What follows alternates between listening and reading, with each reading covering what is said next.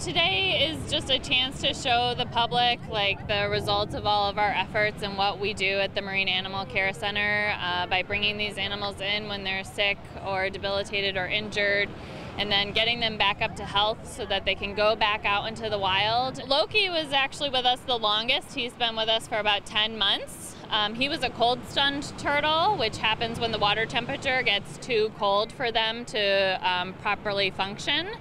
Um, and then um, Wolverine and Lex both came to us in July. Wolverine was uh, just a blunt force trauma. We're not really sure from what. And Lex was a hooked turtle off a fishing pier that uh, fishermen fortunately knew to call us to take care of. Um, it was actually awesome. It was like really cool to actually see something that that um, that cool to actually go in the water and you can actually see it move a lot.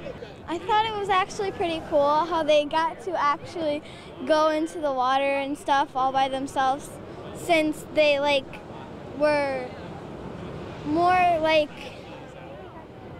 hurt to care about the animals. You see these guys were hurt, that's why so people better stop hurting all these animals. All animals are coming extinct. Hopefully we can teach them um, ways that they can help and just bring awareness to some of the uh, threats that are out there for these critically endangered animals. Um, and also just being aware of like what they can do if they see a stranded sea turtle or marine mammal on the beach we want them to know that they can call us anytime, day or night, and we'll respond to help that animal. Uh, they've been at our center for a few months, and it was definitely an overwhelming environment with a lot of people and you know taking pictures and everything. So it's definitely not an environment that they're used to.